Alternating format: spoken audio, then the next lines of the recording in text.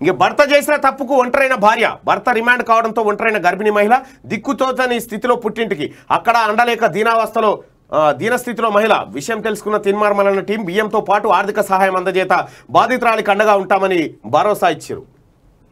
నిన్న పాపం.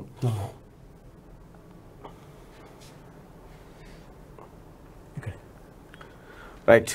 ఓ భర్త చేసిన తప్పుకి భార్య దిక్కుతోచని పరిస్థితిలో పడిపోయింది. పైగా ఆమె నిండు గర్భిణి కావడం ఆమెకు ఎవరూ ఆసరా లేకపోవడంతో ఆమె తీరని దుఃఖంలో మునిగిపోయింది. తప్పు చేసిన భర్తను పోలీసులు రిమాండ్కు తరలించడంతో భార్య ఒంటరి తీవ్ర ఇబ్బందుల్లో పడింది. ఈ ఘటనను గమనించిన తిరుమల టీం ఆమెకు ఆసరాగా వారికి తోచిన సహాయాన్ని అందించి పెద్దమని చాటుకున్నారు. వివరాల్లోకి వెళ్తే రంగారెడ్డి జిల్లా మాడుగుల మండలం దొడ్లపాడు గ్రామానికి చెందిన ఏదుల చంద్రయ్య వెంకటమ్మ కుమార్తె శారద వివాహం చారగొండ మండలం తుర్కలపల్లి గ్రామానికి చెందిన శేఖర్తో పది సంవత్సరాల క్రితం వివాహం జరిగింది.